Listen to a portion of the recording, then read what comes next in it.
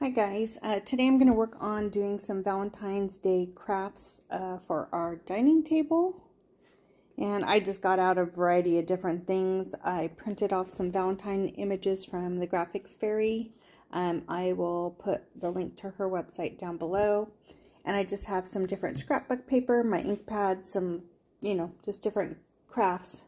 And I have no idea which direction I'm going to go in, but when I figure it out, I will definitely show you. Okay, I think what I'm going to do first is I'm just going to go ahead and cut these down to size. Um, I'm going to use my um, cutter. I actually got this at the Goodwill last year. I think I paid $5.99 for it.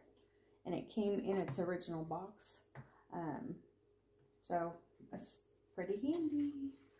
So yeah, I think what I'm going to do is just go ahead and just cut them down to size and then um, from there I'll figure out what I'm going to do.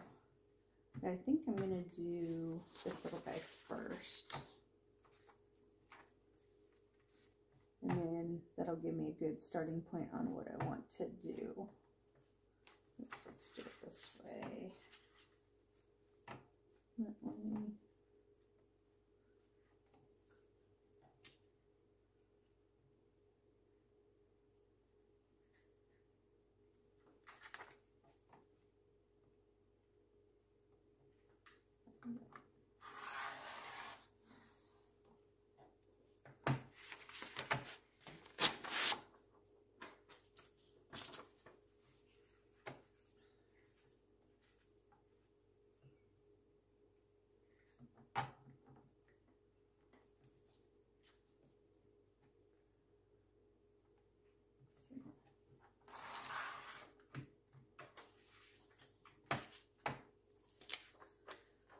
And then what I'll do is when I get them cut out, I will figure out what I want to do with it.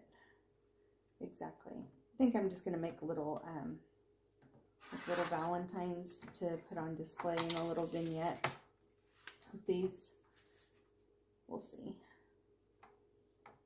I probably didn't want to do this exact, but that's okay. Maybe I'll cut out a heart shape. Like I said, I'm just kind of winging it I didn't want to sit here and try to overthink it while I came up with a game plan.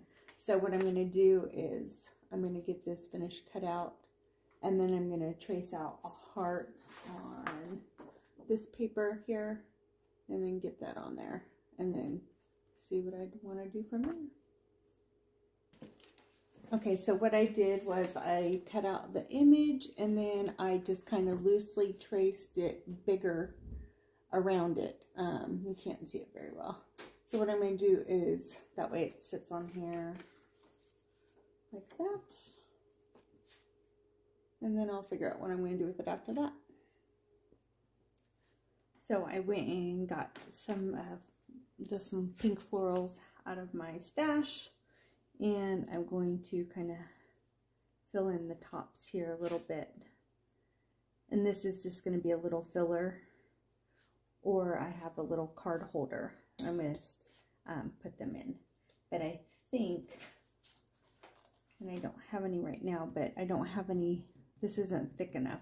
Well, we'll see. I'm going to go ahead and put it on there and see where we're at. So I'm going to go ahead and just glue this on. I did plug in my hot glue gun. And um, I'm doing it at the dining room table because I'm getting ready to redo my office craft room area and build me a new table instead of trying to use a desk. And I'm going to put, uh, I just acquired a new older sewing machine. And so I'm going to make sure everything is usable on there. So I'm just gluing this on here. Yeah.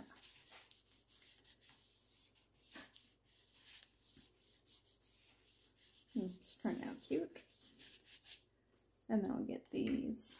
I don't know if I want the lighter ones or the darker ones. Hmm. Not sure. So I'm just waiting for my glue gun to heat up and I'll get those on there. In the meantime, I'll see what I'm going to do with this right here. So this is Valentine's greetings. I know it's reversed on there, but so I'm going to see what I'm going to do with this one. Okay, I went ahead and just got those two little florals hot glued on there. I know the lighting's not the best. I'm working on I'm working on that.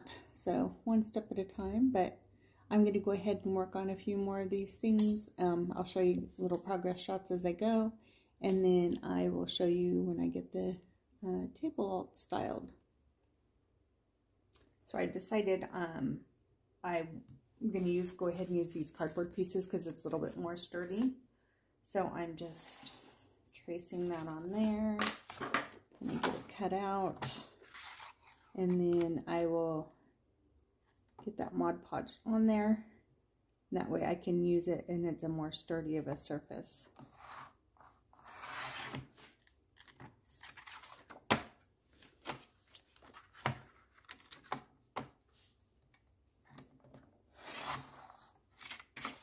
Okay, so I'm just going to go ahead and Mod Podge that on there. And I'm, these were, um, I had a photo frame that broke and I went ahead and saved all the cardboard pieces and the glass pieces.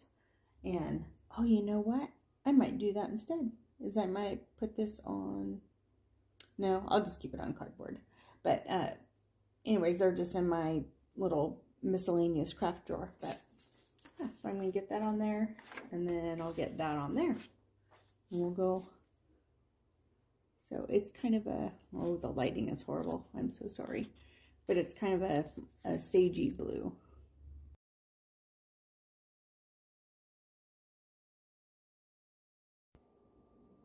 Okay, and then for this, I know that's not symmetrical. Oh gosh, I might end up cutting it, making it symmetrical, but this is just a cardboard um, part. And then what I'm going to do is just take a bunch of yarn and just start wrapping it around it. And I might do this several times. Um, to use that as a bowl filler, filler also. Okay, scratch that. I ended up finding a heart-shaped cookie cutter, so I'm going to use that as my pattern. So that pattern didn't have um, a big enough divot, so I just went ahead and created one. And what I'm going to do is I'm going to actually um, hot glue this on here to start, and that way it won't. So I'll just show you real quick.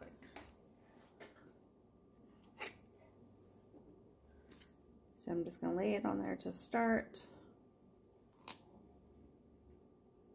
And then I'm just going to start wrapping it.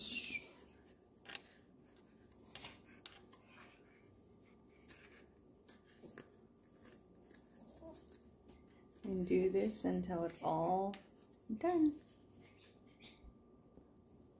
So what I'm doing, I wasn't going to bore you, is that I'm just doing it until all of the cardboard is hidden and I'm trying to keep it flat so it doesn't bend the cardboard. So, and I had to make sure to include that little point. So I'm just going all the way around it. And I think these would be cool. Um, I don't know if anybody does drawer sachets anymore. Hopefully I'm not dating myself. I'm really not that old, but compared to some I might be. But um, is if you did these with a cotton yarn, um, which I have, I just don't want to waste it on this, so I'm using acrylic yarn, is um, when you're all done to maybe, you know, do some like essential oils or uh, not perfume, but an essential oil or something, um, and then keep those in your drawer. Hmm, be, be kind of cool. And you have to excuse my little dog is down below me. I've been home for a while and I've been gone all day. And she is not liking that I'm not giving her any attention. So I think I've just about, I think I have a few more gaps. But yeah, kind of cool. And Dollar Tree carries yarn now, so you could probably just, I mean, everyone has scrap cardboard because we all get deliveries. But, and then just get some Dollar Tree yarn. This was, I don't even know what brand it is anymore. But, and then you could maybe end it on a cute design, you know, like X for, you know, like hugs and kisses type thing. I don't know. But, yeah. And then kind of lay it flat and glue it in the back. Oops.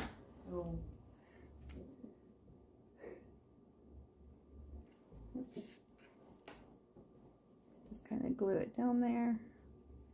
Where's my little. There we go. Yeah. See? And then you can just um, make a bunch of those and put them in a cute little bowl. Or you could also, oh, that'd be a good idea, instead of sachet for your drawer, is do them as a sachet for your table. So get a, you know, like a vanilla scent or whatever scent you want, and then that way they're, and then you all you have to do is rub them and kind of release the scent, and that'd be a neat little thing. So hang tight for that. Okay, I'm going to do one more, only because I do have quite a few um, cloth hearts. They're the gray and white, oh, buffalo, buffalo check. I already have a bunch of these. These were from Hobby Lobby oh, two or three years ago. Um, so I'll just stick these when I get them done and I'll put them in there with it. So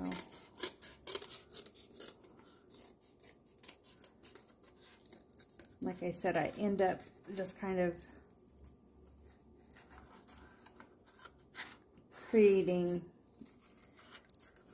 a spot to where I can um, wind the yarn through without it being a flat surface and kind of even that out a little bit.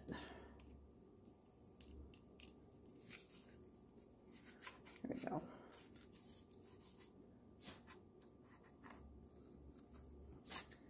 Kind of boring, but maybe kind of fun for somebody who has this stuff laying around and they don't realize it. Okay, I'm just going to go ahead and finish this up really quick. I think I'm losing battery on my phone and it's getting super dark and the lighting is horrible. So, um, hopefully this video will turn out in the correct format. So we shall see.